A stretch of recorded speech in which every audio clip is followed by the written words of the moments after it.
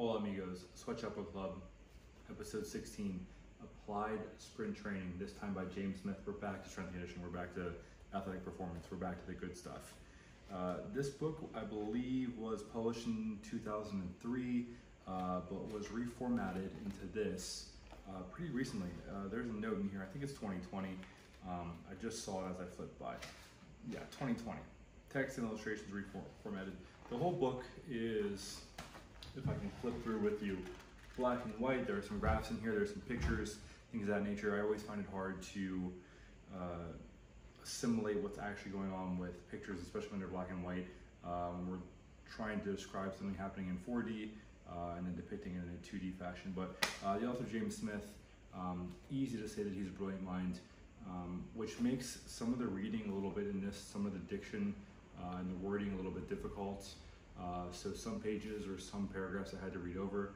Um, there are a couple areas in this. I believe he published it himself, um, but I want to get you know all the the tit for tat stuff out of the way so I can uh, praise the book because this is an absolutely tremendous book when it comes to uh, sprint training. This is talking about linear speed. It's 199 pages, almost 200 pages of just running. So um, we're talking about uh, max aerobic speed, uh, long to short or short to long methods, um, vertical uh, loading, a lot of Charlie Francis uh, stuff in here if, if you got those illusions, um, and a lot of Verkhoshansky as well as uh, Bondarchuk in here as well. So uh, this stems from a lot of different influences, but at the same time, uh, James puts his own perspective on how we should manipulate training based on the bioenergetic, um, biomotor, and biomechanical uh, needs of each athlete and each team, uh, depending on their sport, right? So, uh, very fantastic, fantastic book.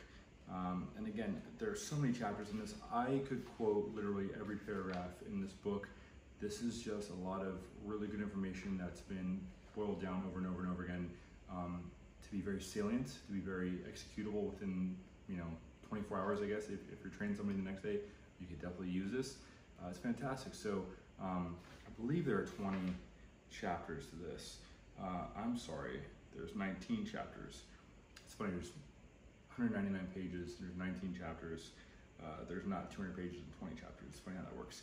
Um, but there's also workout regimens in the back, depending on you know who's there. So he has the Dubai Tournament Preparation 2012, Australia Tournament Preparation 2012. I think that's for the Portugal team that he was uh, uh, working with for rugby. Uh, he does a lot of consulting in other places as well. So um, to actually quote and get into this, um, one thing I found that was super uh, interesting, um, or thought-provoking, because interesting is a boring word.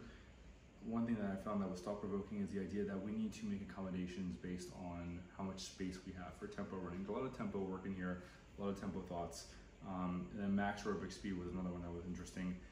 Maximal aerobic speed training has gained popularity for developing aerobic qualities in team-based field sport athletes. The protocols are based upon aerobic value, uh, id est, and athletes' fastest 1.5 to 2 kilometer effort in seconds divided by the distance. This value is then used for interval uh, training set up in such a way that the bioenergetic stress borders on and often crosses the lactic threshold due to the brief recoveries, eh, 15 seconds, that typically separate work bouts of equal duration, eh, about 15 seconds. So there's a good uh, tidbit for you on maximal aerobic speed and the value and how you would divide to, to get that. So um, it's, I always think it's funny when there's YouTube links in here um, with different books. One thing that I didn't like in the book, um, and this is kind of just a caveat for me, is that um, he'll use acronyms for different uh, entities or, or, different ideas or different concepts.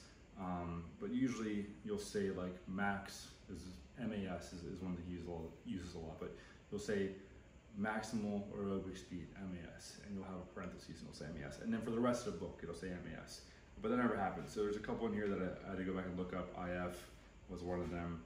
Uh, there's some different ones in here as well. Um, that if you're not really like focused on reading this, like very rarely do I have to read the same page over and over again. This happened multiple, multiple times in my three sittings to consume this.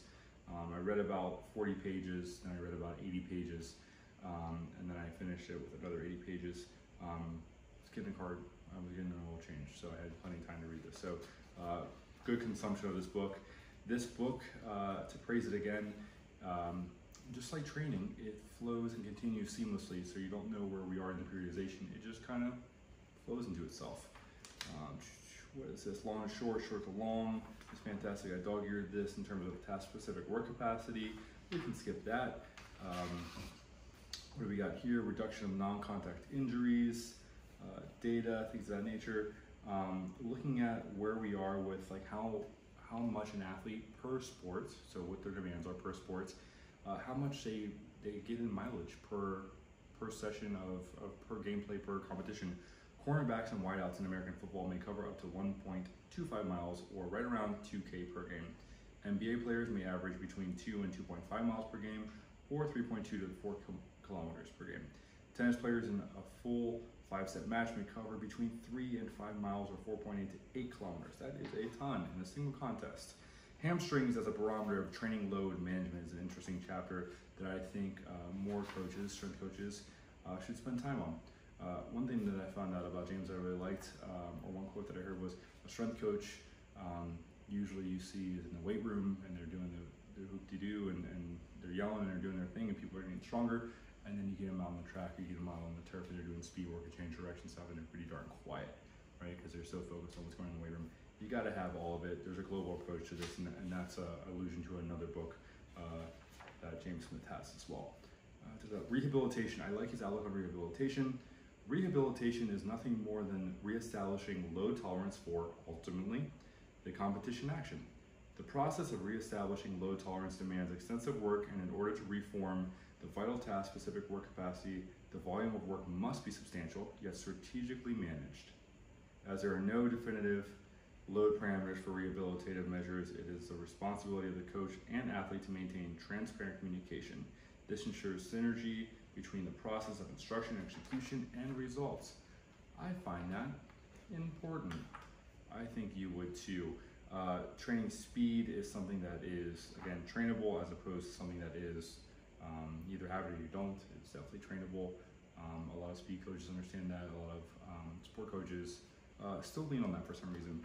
Displacing a force vector and deceleration. We talk about sports vector or um, force vectors. Uh, I guess I guess there are sports vectors also, even though I misspoke. Um, but we're accelerating, and you end up in a horizontal fashion. Uh, I like that he also mentioned this, and, and I preach this: the shin angle in a two-point start should equal and be congruent to your back angle from your hip to your shoulder um, to get a good start. And your shin angle should be pretty horizontal for the most part, as much as you can when you accelerate. Um, acceleration, even though you might be in an upright top speed uh, shape, uh, if you're still increasing your speed, you're still accelerating, right? So you're not really truly at top speed. You're trying to maintain top speed if you're still increasing your speed. Uh, there's different uh, charts early in this that caught my attention of like Usain Bolt. He um, mentions Usain a lot in terms of like what his splits are for each 10 meters and, and where he's at uh, for his 100 meter runs uh, compared to Powell. I mean, that, that's fantastic. Um, and the concern there was also just like, what are we seeing with uh, producing a lot of force, a lot of ground contact time and acceleration? That force vector is horizontal, but there are vertical um, displacements involved as well. So um, just like when we talk about bioenergetic demands and substrates, um, whether it's glycolytic or, whatever it is, uh, aerobic or anaerobic, you can go on and on and on. CP, um, ATP, yada yada yada, all the fun acronyms I just threw at you guys without mentioning it. Just like I said, my pet peeve and my caveat was before. What I'm getting to is you might be uh, using you know your creatine phosphate and replenishing that, but there's still aerobic substrates going on at the same time. Everything is uh, interdependent, interdependent on itself. So um, even though with running and sprinting and a two-point start, even walking into it, or even a falling start, you might be horizontal uh, and really getting into that acceleration phase. When you start out, there's still some load management in a vertical fashion. When you're at top speed, there's still some horizontal um, displacement and, and force vector there as well. Um, and along that force curve, it's very important to understand that they happen simultaneously um, concurrently um, until you are done running. Uh, and yeah, so here we go. This is a nice picture to start out with, and you can see the shin angle and the back angle are similar. The shin, the back, big extension there, talk about that. So really fantastic book. This is something I'm gonna lean on heavily for the future. Um, this is something that I pushed off for a long time. Uh, and again, just brilliant, brilliant, brilliant work, and definitely like that there's uh, breakdowns in terms of weeks and what we're accumulating uh, in terms of a phasic structure at the end. Because periodization is nothing but a plan. You know, suppose you stick to the plan, sometimes uh, it's fluid and it's agile. So that's all I got for you guys today. Applied Sprint Training, James Smith. Fantastic, fantastic, fantastic book.